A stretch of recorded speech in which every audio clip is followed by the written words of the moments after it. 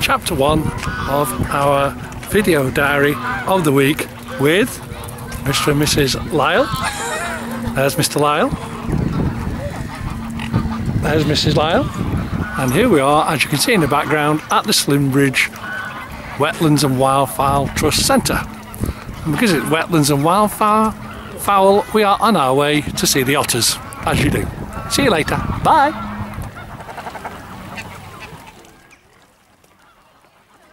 A warning to Anna G. Do not visit this place. There are lots of birds that fly just over your head.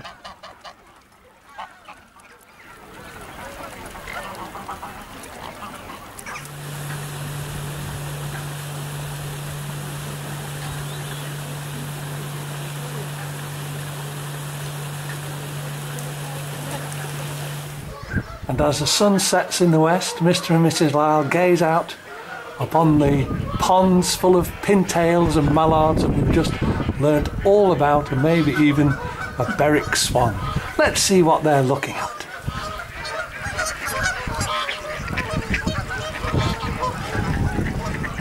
This is my audition for Spring Watch.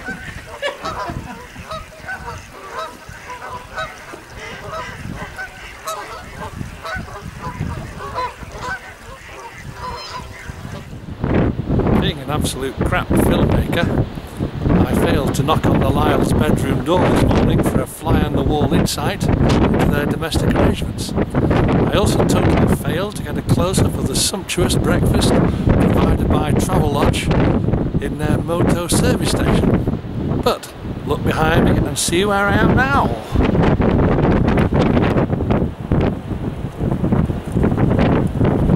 Yes, hello Yuki. So day two of the adventure continues. Just waiting for young Thomas to come down the road, then we're going for a coffee. Here we have Trevor and Margaret enjoying the bracing Newquay air, having walked up Fistral Beach. aka Frodo and Samwise heading to Mount Doom.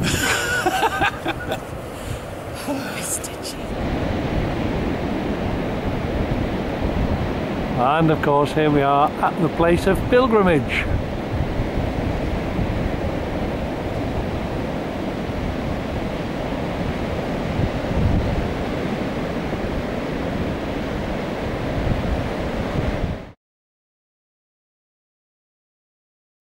Short people to the front. Oh, So here we are, day three of the video diary finds us at the Lost Gardens of Heligan. And here's our happy little band being videoed joyously as we head off Willingly. for the coffee and willingly and very, very hungry still after Anne's breakfast, but we'll uh, survive the day somehow.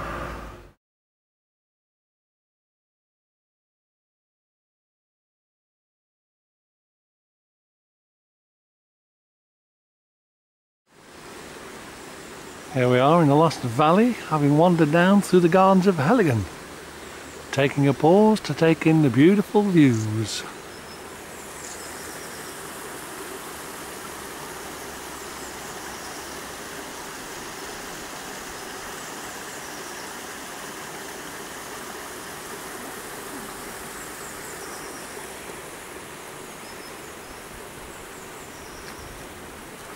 Lots of photographers in the party, as you can now see.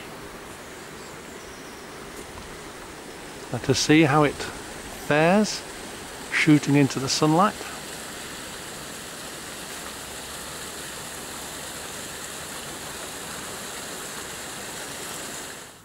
And after having explored Heligan to the hilt, here we are sat in Juanita, having had an exciting drive along the Mevagissey harbour wall with one wheel in the harbour. There's the kettle on. There's the teapots all ready to have the cup of tea. And here's Trevor with a can of beer, the only sensible one amongst us. and just to prove we're next to the harbour, look out of the window, and there it is. Margaret's whispering. I hope this microphone will pick it up because then I'll be able to hear what she says and embarrass her in the future. Just pan back while I reach the off switch so we don't get a shaky little end to the clip. Good morning, people. Here we are on our final day in Cornwall. I knew as this was the first attempt to make a video diary, there would be mistakes on the way.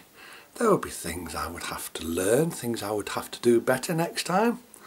Yesterday I learned that in order to make a video diary, you actually have to take the video camera out with you, not leave it on the side in your bedroom. So for our visit to St Ives and to the seal colony, I'm going to have to edit in some of the still photos I took yesterday. Ho hum, never mind, it's all good experience.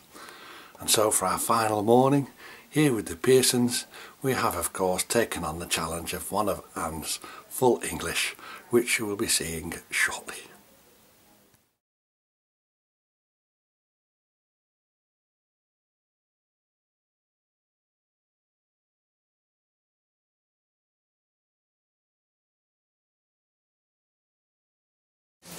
Yes, for me, thanks, yeah. And here we find the leg end that is Anne Pearson, busy over a hot stove getting ready for the breakfast.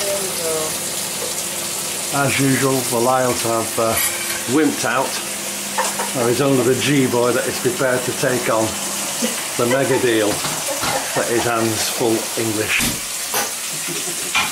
Look at this, look at that. I've not finished yet. I know. Well, that's, that's just Trevor's coming, isn't it? Really, I mean, good hands above.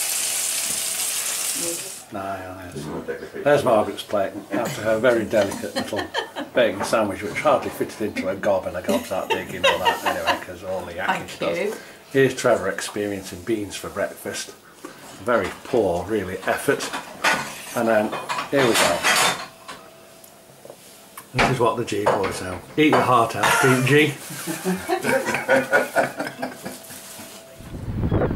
and here we are, a secret location, somewhere in Cornwall. Going for a walk along the beach to walk off Anne's breakfast. Photographer Trevor adjusting his lens as usual. Don't know who those idiots are walk, running across my shop, but there we go. We filmmakers have these crosses to bear. Poor Tom and Nina. This is the view they have to put up with from their garden. Notice the lesser red breasted Lyles in the foreground. The male showing off his bright red plumage at this time of the year. The female keeping warm with a scarf. Joined by young Tommy himself.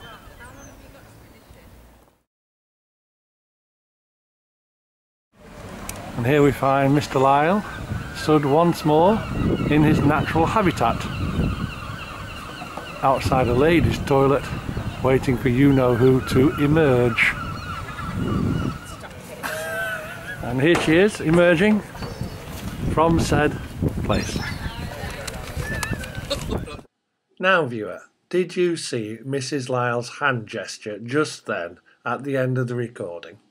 In case not, I'm going to play it again, because she likes to portray herself as a right prim and proper young lady, when in actual fact this is very far from the case. Just watch her hand nearest the camera towards the end of the clip. You may be shocked. And here she is emerging from said place. So our little Cornish sojourn is drawing to a close. About to set off back to darkest Derbyshire.